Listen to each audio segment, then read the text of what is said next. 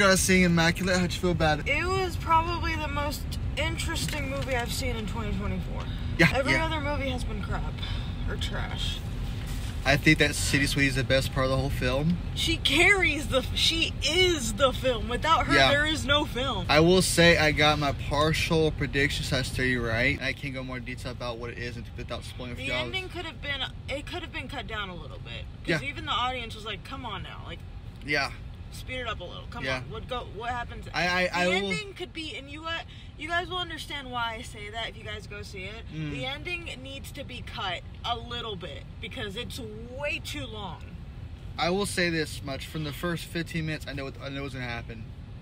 I knew exactly what's gonna happen. I told her. Yeah. I told her what's gonna happen. I'm like, mean, I, I can see why it Yeah, happened. yeah, And yeah. anybody else I would done the same. if you're not, if you if you don't watch a lot of dark movies, This one's probably gonna be the darkest one. my my mother can watch this. Oh no. My my grandma, and none of my there's mom's side family. there's a scene though Woo! that she that Sydney. Woo! Thank God that was not real technically, Yeah. but It is not something for everybody to watch. it's not something a 13 year old. would No. A 13 year old would have nightmares. This it's not will- PG. Is this PG 13? This is radar. Okay, good, because it's not. It's radar. this. Is not even close to PG 13. I will I will say this much. Like the last scene of the film, it's like what the heck did I just watch?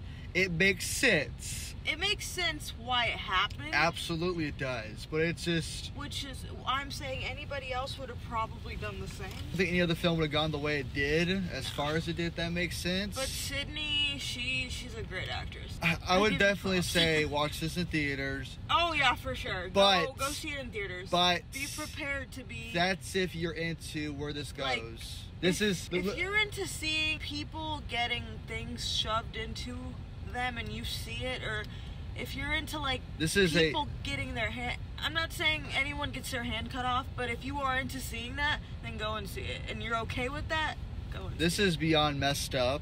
Very gruesome. This is a psychological thriller, to say the least. It will up if Um, if you allow it to. between if you ask me between this, Imaginary and Night Swim, which was the best one? This is without This a question. Tops all. Oh, by them. far. I mean, this one, and of all the films I've seen this year, this is the best one. It sticks with you. It's something you're going to talk about a lot. I would give it a solid 7 out of 10. I give it a 10 out of 10. oh, wow, really? Yeah. A 10 out of 10. And you said Sydney produced it? Yes. Holy girl, you did good. Yeah. You did good. I will, I will say Like- this much. There's not a lot of character depth given. No. They give you the bare minimum with that. I like I said though, I personally Usually with these like reviews, I don't really have a lot to talk about. With this one, I, I will say this much. I knew from the Uh. first scene of the film what was gonna happen. Because that's he kind of he didn't I- know it, but he, I, I guessed it pretty. And then 15, 30 minutes, I'm like, hey, this is what they're gonna do. Guess what? I got right.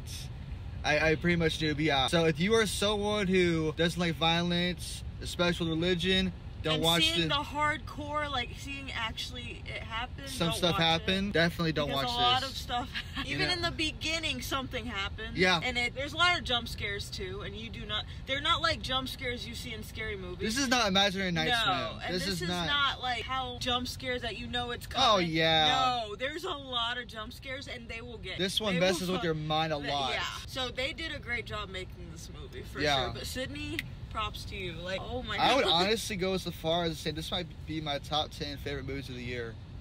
I quite enjoyed this. Oh my god, yes. At first, it starts out the way you think it's gonna start off, but then something like, specific no, I'm not into watching it. I'm like, yeah, it's. I kind of want to watch it because and I'm glad we watched it together. Yeah. And guess what? I'm bringing Papa Cash and Jared Watchers tomorrow night because I'm making them watch it too. Because I can guarantee they're, they're like, okay, well, it goes this direction. Then no, it doesn't. No, it doesn't. So, as always, that's the thoughts. Thank you for watching. Any last words? No. No? You recommend this? Good job, Sydney. Um, yeah, watch it in theaters. All right.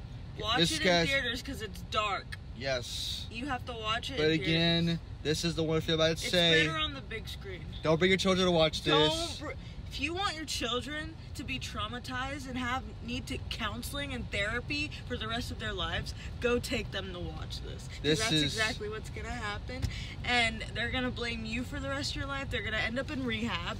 It just All right, oh, what, what question for you? People do what they want to do, so I'm not going to tell anyone to do anything. Yeah. So just do what you want to do, but I would not recommend this for Do children. you wish? Okay, let me let me ask you this question. What? Last scene in particular. Do you wish they would have Cut it down? no sh- shown it?